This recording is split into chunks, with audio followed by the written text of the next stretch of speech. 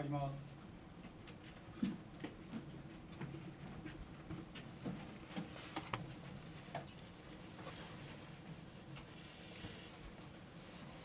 はい、おはようございます。えー今日は私からですね2点ご報告させていただきます。1点目はですね、あの昨日開催されました厚生、え科学労働、え厚生科学審議会におきまして、え新型コロナウイルス感染症に関わる臨時の予防接種、これをですね支持することについてご了承をいただきました。あの今回の接種でありますけれども、え16歳以上の方、これを対象にですね、まずは、え先日承認されましたあファイザー社、このワクチンにより接種を行うことといたしております。え実施期間、明日17日からですね、あのやはりこれ、なるべくこう、まん延防止ということでございますので、えーまあ、短期間に皆さんにえお打ちをいただきたいということもございますので、えー令和4年2月28日までといたしております。えーまたですねあの接種受ける努力義務に関してはですね、えーまあ、あのまだデータが少ないということがございますので、えー妊婦の皆様方に関してはですね妊娠中の方に関してはあこれをですねえ適用しないことといたしております。あのちょっといろいろとお話聞きますと、えーその治験自体はですね、えーまあ、妊婦の方が対象にしていないということもあれだったらしいんですがあの治験中に妊娠が分かった方こういう方もおられますしあの海外でもまあ、ご本人があ、まあ、受けるということであればですね今すでに接種が始まっている中で、えー妊娠中の方々も受けておられるということではありますがまだデータが、えー十分に集まっていないということでございますので、えーそういう意味でですね努力義務からは適用を外すということでございます。あの関係、えー省令を交付するほかですね速やかなあ接種開始の指示をですね各自治体に発出をするということといたしておりまして明日からまずは医療従事者向けの先行接種えこれが始まります。あのまあしっかりとですね体制を整えていただいてこれあのまあ、今回はまず医療機関からということでありますが、その後、まあ先行接種、そしてえ医療従事者、あ高齢者と、その時にはま各自治体ですね、体制をしっかりと整備をいただきながら、あまあ、その後のそれぞれ、えー、基礎疾患をお持ちの方でありますとか、それから介護施設等々の従事者の方でありますとか、そして一般へということでございますので、あのこれからも接種体制しっかり組んでいただくためにですね、えーまあ、厚生労働省もですね、各自治体と協力をさせていただきながら、あいろんな情報の発出させていただきたいというふうに思っております。えまずこれが1点、もう1点はですね、あのまあ、感染の状況、これも新型コロナウイルスのあれでございますが、話でございますが、あの感染者の方がですね、えーまあ、新型コロナウイルス感染症自体は、あこれはもう回復をされて、もうウイルスが出出さない状況ですね、要するに完全に回復されたというもとで、ですね今まであの受け入れをいただく医療機関に対していろんな対応ということでですね、えこれ、え診療報酬の加算等々も増やしてまいりましたが、あの医療機関だけではなくてですね、あの新型コロナウイルス感染症対処方針基本対処方針においてもですね、あのまあ、書かれているわけでありますけれども、高齢者施設におけるですね受け入れ、これをですね促進をしていくことと、今までもお願いしてきたんですが、あのこれをさらに促進をするという意味もございまして、えーそういう意味でですね介護報酬上の、まあ、特例的な評価を行うということで、えー介護報酬上でですね加算をつけさせていただきまして、えーこれですね具体的には対象前連携加算というやつでえ500単位なんですけれども30日間算定ができるということにいたしまして、えーまあ、しっかりと介護施設等々でもですね、えおいけお受け入れをいただきたいということで、まあ、今般ですね、えーまあ、皆様方にこのような形でご報告をさせていただくということでございます。えー私からは以上でございます。それでは何かご質問ございますればお願いいたします。年間時の G 通信内容です。おはようございます。えっと、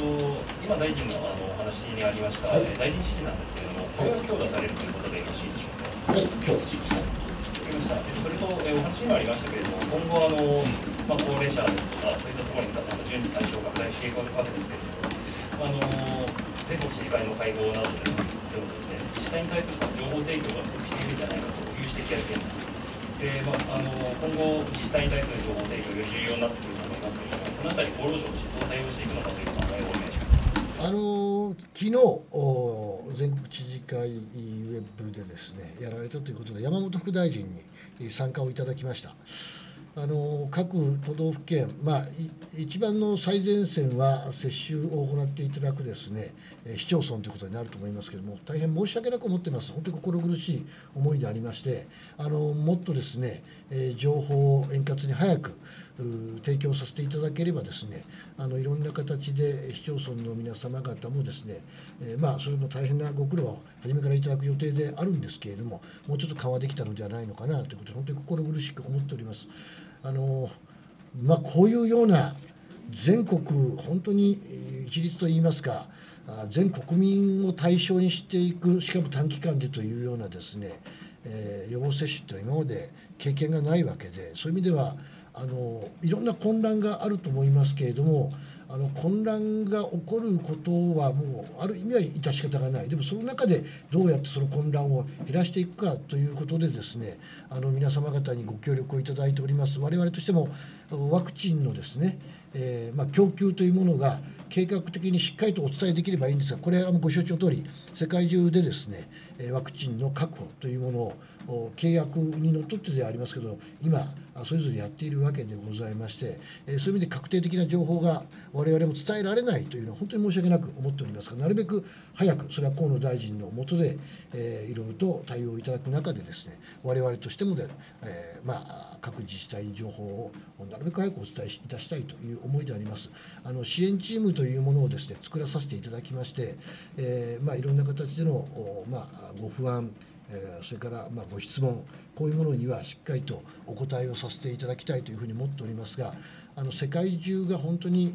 ま一斉に混乱の中でワクチン接種が始まっているということでございます。あの我々も世界の情勢を見ながらですね、あのしっかり対応してまいりたいと思いますが、改めて、え各自治体の皆様方にですね、えいろんなご不安をおかけをいたしておりますことを、あの心からあまあお詫びを申し上げますが、一体となって国民の皆様方の健康を守るためにですねこの予防接種ワクチン接種をですねご協力をいただきますようにお願いを申し上げる次第であります。はいどうぞ。はい。続けてあのワクチンの話なんですけれども、あの副反応が発生した場合にあのどう国民に伝えて理解を促していくかという点と、今後幅広く国民接種を呼びかけるための考え方というものも改めてあのまあ、副反応は予防接種にはですねあの稀ではありますけれどもそれはあ、まあ、起こるというのは、まあ、他の予防接種でもですね、えー、いろんな副反応がありますあのですからあそこは国民の皆様方にちゃんとお伝えをしなきゃならないと思います。えー、例の医薬品第二部会ですか、あそこでもいろんなご議論いただく中において、まあ、これあの PMDA でもそうなんですけれども、あの基本的に腫れでありますとか、あの痛みですね、えー、それからまあ倦怠感というような、こういう副反応は一定の確率ではですね出ているわけで、ただ、まあ、あの数日で、えー、こういうものはなくなっていっていると。いうのがほとんどであります。ですから、まあ、軽度、まあ、中小中中等度といいますかねの、まあ、副反応っていうのはですね一定程度であると。でまあ、一方でアナフィラキシーショックのようなですねあの、まあ、放っておくとこれもあの対処をちゃんとやればあ心配ないわけでありますが放っておくと大変な状況になるようなあこういう副反応も、まあ、あの日本では日本の知見では見られておりませんが、まあ、海外ではですね、えー、見られているわけでございますので本当にごくごくまあ稀なあ状況で起こりますからそういう情報もですねしっかりとお伝えをさせていただいてあのやはり副反応の情報をちゃんとお知らせするっていうことが大事であのそこをお知らせせずに、えまあ、副反応がないかのようなですねえそういう報道になりますとあの軽度な副反応でも国民の皆様方はそれに対して不安感を持たれるわけでございますので、えー、そういう副反応の情報をしっかりと出していくということが私は国民の皆様方にご理解をいただく一番重要なところではないのかなというふうに思っておりますもちろんあの有効性というものもですね、えー、まあ、今一定程度分かってきておりますがこれがさらに海外で先行接種されておられますからそういう部分でもいろんなデータが出てくると思いますから、まあ、そういうこともですねしっかりと国民の皆様方にはお伝えをしてまいりたいというふうに思います。はい、どうぞ。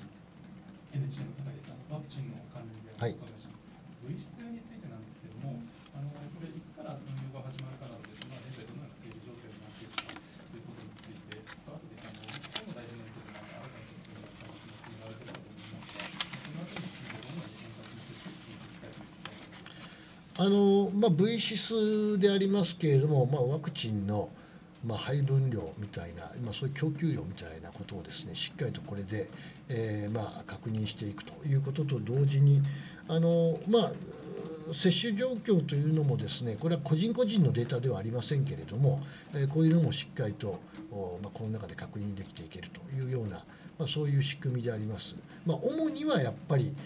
ワクチン配分分配こういうものをしっかりとここで確認していくという形になってくると思います。えー、2月15日からですからもう動くわけでありましてあのそういう意味では接種がいよいよ始まりますので、えー、それと合わせてですね本格稼働をしていくもうに、まあ、昨日からも本格稼働できている状況でありますがそれに合わせて、まあ、実態が動いていくという話になってこようというふうに思います。えー、まあ河野さんのところでですね今検討いただいているというのはあの、まあ、個人のデータというのがある程度そこで分かるようなそういうような、まあ、データベースになってくるんだというふうに思いますが基本的には今話しておりますのはこの V 指数とはですねえーまあ、連携を、まあ、しないといいますかあ、まあ、リアルには連携リアルタイムでは連携していないというようなそういう仕組みでございまして、えー、と言いますのはあのこちら今もう動き出しますので、負荷がかかるとですねあの実際問題ワクチンのこれデータだけじゃデータというかその個人個人接種のデータというだけではなくってあのワクチンの供給の方が入っておりますのでそれに何か負荷がかかるとこれは大変なことになりますのであの、まあ、そこはもう別にしようということでですね、え河野さんの方で今新たなものを検討いただいておるということでありますから我々はあのそれをしっかりと、まあ、見守りながらあまあ、この物質の方は物質の方でですねしっかり稼働を進めてまいりたいと思いますしあのこの後、まあまたいくつかですねあの、まあ、言うなればあバージョンアップといいますかあこちらの方もいろんな機能をこの後動かしていくという部分がございます例えばですねあの各医療機関の予約状況を見える化するようなあそういうような機能等も今後リリースをしていきたいというふうに思っておりますのであのそういうことも含めて物質や物質の方でですねしっかりと対応をしてまいりたいというふうに思っております。はい、はい、どうぞ。おはようございます。はい、えー、インターネット報道メディアでルゼンのございます。はい、えー、コロナあワクチンと検査についてちょっと少し長くなるんですけどお時間いただきます。新型コロナウイルス感染症の、え無症状者からの感染が、え感染全体の約6割に上るという衝撃的な研究結果が、え米国医師会のサブク付き総合医学ジャーナル、え JAMA ネットワークオープンに、米国 CDC の研究者たちの論文として、1月7日付で発表されています。これはワクチンワクチン接種によって無症状患者の患者の感染力を抑制できるかどうかまだわからないという事実と付き合わせると、え、さらに深刻です。つまりこの研究の知見は、え、新型コロナウイルス感染症では症状のある人だけが検査を受け陽性が判明した時点で隔離するという方法では新型コロナの感染拡大を食い止めることができないということを示していますこの重要な研究結果が1月に米国の権威ある医学専門誌に掲載されているにもかかわらず日本では全く見られている様子がありませんさらにワクチンが変異株には効かない可能性も判明ししています。アストラゼネカ社のワクチンの南アフリカ変異株への有効性について、南アフリカ政府が公式に決めがないと判断し、接種を見送っており、ビオンテック、ファイザー社は変異株自体に対する試験結果をいまだに公表していません。これらの点について、国立感染症研究所の脇田隆司所長は、2月11日のオンラインブリーフィングで、弊社の質問に対して、え変異株に対する臨床試験はできていないので、え本当に効くのでしょうかというのは、え我々も知りたいところです。えー、ワクチンが感染力を持った症状患者を抑制できるかどうかは不明というのはおっしゃる通りですね、流行を本当に抑えられるかどうかについてはデータがないというのもその通りだと思います。と回答されています。えー、したがってワクチンを打つだけでなく、無症状患者を無症状者を含めた全員検査によって隠された陽性患者を発見し隔離することなくしては感染拡大の防止は不可能なことが明らかです。もし東京五輪が本当に決行するのであればワクチンだけではなく PCR 検査の全国民を対象とするさらなる拡大が必須と考えられますが大臣はどのように考えでしょうか？よろしくお願いしますあのまず変異株に関してはですねもうご承知の通り日本で今スクリーニングを徐々に広げておりますがあのまだ全国中一定程度あの後発例は見られてますけれども圧倒的に今までのウイルスの方が多いと。ということですね。ですからあのそういう意味では日本の中で今のワクチンというものはこれは効果を当然示すということになると思います。それから変異株に関してはワクチンはこれはそれぞれワクチンメーカーがそれに対応するものをま検討を始めるんだろうと思います。ですからあのその速度に合わせて、まあ、日本で変異株がこれからどれぐらいの速度で広がるかこれはまあ我々なるべく広がらないような形でですね、え、まあ積極的疫学調整や水際対策対応しますがあのそれに合わせて次のワクチンが本当に広がるようであればあそういうもののまあ、供給等々をです、ね、考えていくというのは一つ検討課題だというふうに思います。それから無症状者、これも国会でも質問をされて、ワクチンで無症状だった場合どうするんだという話は国会でも質問を受けています。あのそれに関しては、まあ、エビデンスがまだありませんので、我々としても、まあ、正確なお答えはできませんが、あのまあ、あの無症状者の方々が一定程度、他の方に移しているということは、今までもそれは我々も分かってきていることで、無症状者であろうと、有症状者であろうと、ですから、感染拡大をする感染感染をさせるような行為また感染をするようなそういうような、まあ、生活様式はなるべく避けてください。ということでありますのでワクチン打ったからといってですねあのお酒飲んで騒いでっていうのはやめてくださいと。これはもうワクチン打っても、まあ、ワクチン打たなくても同じです。ということはもうお願いをさせていただいております。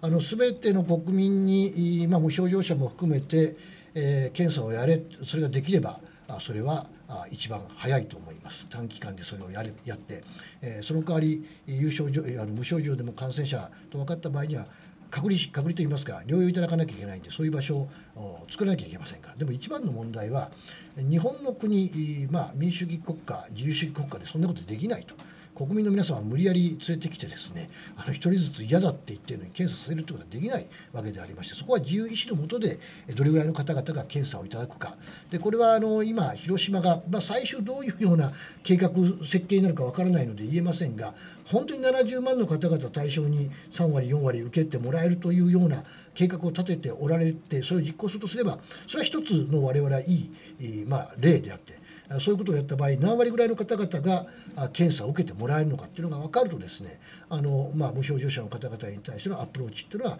いろいろと我々もまた計画を作れるのかなとは思いますがあの、まあ、これ自体まだ始まっているものではありませんのであのとにかく何度も申し上げておりますがあの無理やり検査をさせるってことができないというのが一番の悩みでアメリカはもう2億回以上多分検査やってますが世界で一番感染がしているという国でございますのであのそれを見てもですね、えー、のホーズ無計画な検査だけではですねなかなか感染を抑えられないということは事実だというふうに思います。以上です。あの他の方おられますでしょうか。どうぞ。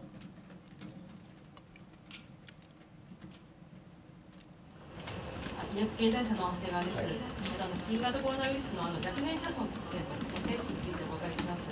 現在ワクチンの接種の対象者はその16歳以上と予定されていますが実際にコミュニティ認証データでもあの16歳以上が得られていると思いますけれどもただ一方で日本ではその10代だったりとか20代の方も新型コロナウイルスに感染してもあまり症状が見られなかった。重症化するリスクっていうのは高くないと思うんですけれども、まあ、今回のワクチンの目的というのは感染拡大というよりかは個人の発症抑制だったりとか、目的になると思いますがそれでもその若年者層ですけどもワクチンのそのあるというふうにお考えでしょうか？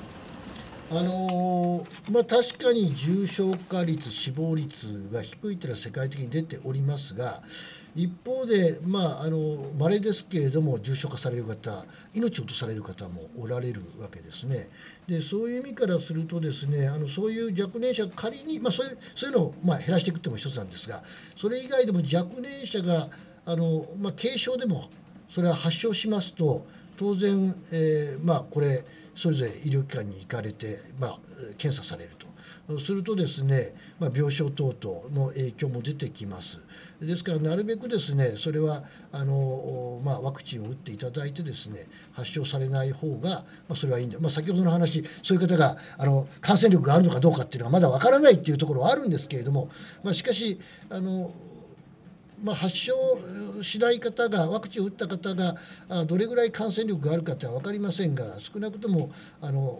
まあ、咳をされたりあれしている方よりかは飛沫の飛びは少ないのは事実でありましょうからあのなるべく発症抑制をすること自体がですね、えー、まあ、感染の蔓延防止という意味からすると意味があるんであろうというふうに思います。あのいずれにいたしましても総合的に考えてですねあのもちろんそれぞれがご判断で、え最終的には接種される話にはなると思いますけれどもですね接種勧奨努力義務という意味ではですね、え若い方々も含めて我々としては対応させていただきたいというふうに思っております。はい、すいません。はい、どうぞ。東京新聞の前回閣議の件なんですけれども、坂本大臣が努力孤立担当省を兼務することになりまして、まあ、孤独問題というのは自殺や貧困など、厚労行政が所管する課題も多いと思いますけれども、差し当たって取り組む課題にどのようにあの連携していかれるか、また話し合いが始まっていることがありましたら、お願いいたします。あのまあ、先般急に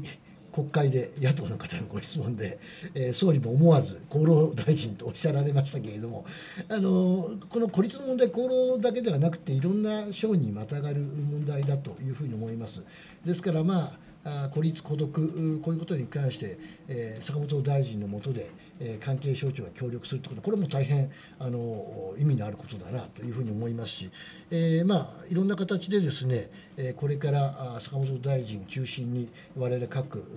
府省が協力して、え対応していく中で、まあ、今度あの緊急フォーラムという形でですねなんかあその実際支援活動されている NPO 団体等々からいろんなお話をお聞きすると。まだちょっと日にちまでは私ども聞いていないんですがそういうような話もあるわけでありましてあのしっかりと活動いただいている皆様方からどういう今問題が起こっているのかそれに対してどういう対処をされておられるのかそして国としてどういう支援の仕方があるのかあの要望があるのかっていいますかね、え、そういうものをしっかりとお聞きをさせていただきたいというふうに思います。コロナ禍でこのまあ孤立の問題っていうのは以前よりもさらに問題が複雑化複雑化していると思いますしあるある意味顕在化もしてきております。えー、まあ、一番何て言いますか象徴的な例が新入で大学に入った1年生ですよね。えこの方々は今までならば学校でですねいろんなサークル活動授業いろんな部活等々で人間関係をお作りになられてきたわけですけれどもこういう若い本来はあまあ孤立と無縁のような方々もですねいやもちろん若い方にも孤立の問題あるんですよ。ただそれとは無縁であったような方々まで、えー、オンライン授業でありますとかな、まあ、サークル部活等々人が密接によるような活動はなるべく避けてくださいという中で仲間づくりというものもしづらくなっている。その中でまああのそれこそ地方から都会東京や大阪いろんなところにです、ね、出てこられたまあそれだけじゃないのもしかしたら都会から地方もあるかも分かりませんがそういうような方々がなかなか協力し合う仲間が作れないっていうのはあまり今までなかった累計がですね本当に多く多く見られるわけでありましてあのそういうような今までにないような孤立問題というのも顕在化してきております。もちろんあの高齢者の孤立問題また弱い立場の方々の孤立問題こういう問題は以前からあるものもさらにコロナ禍でですね大きくなっておる問題が大きくなっておるという問題もあると思います。ですからそういう以前からあった問題さらには今般コロナにおいてよりより鮮明にそういう問題が顕在化してきた問題いろんな問題をですねあのそういうまあ支援団体の皆様方からまずはお聞かせいただければありがたいというふうに思いますししっかり対応をしてまいりたいというふうに思います。はい、すみません。あのそれで体制としてあの厚労省とあの内閣府でどのような体制を取っていくかというのは今のところ決まっあそれはあの坂本大臣のところが中心でございますので、えそこに、まあ、厚労省、多くの部分関わりますからあ、そことしっかり協力をしながらの対応と、あのまあ、我が省もいろんな部局にあの関わりますので、一部局だけではないと思いますから、あまあ、子ども、高齢者、そもそも社会連合、いろんな部局に関わってまいりますから、あの坂本大臣の下で、えーいろいろと協力をさせていただきたいと、まあ、主体的に協力をさせていただきたいというふうに。はい、どうぞ。毎日新聞の中川と申します、あの弊社の報道になるんですけれども、休業支援金の関係で、あの労働者がその事業者と共謀して、実際には雇用されていないにもかかわらず、あの支援金を不正受給したというような証言が得られています。であのあの労働局の側も雇用関係や休業を確認しなかったというような証言なんですけれども、こういった不正受給の実態があるのかどうかというのを厚労省として把握されているか、またあの今後の対応についてお考えると。あの個別の案件ですので、お答えは控えさせていただきます。一方で、この休業支援金ですね、非常に事業主の方が雇用調整助成金の対応いただけない、もしくはシフトという働き方に対して、十分にご理解がいただけないという中で、なるべく困っておられる方々に対して、もう本当に特例的にですねこういうコロナ禍でございますので、えー支給をさせて、支援をさせていただいております。そういう意味からすると、ですねその対応というものは、かなりですねご本人のいろんなあまあご説明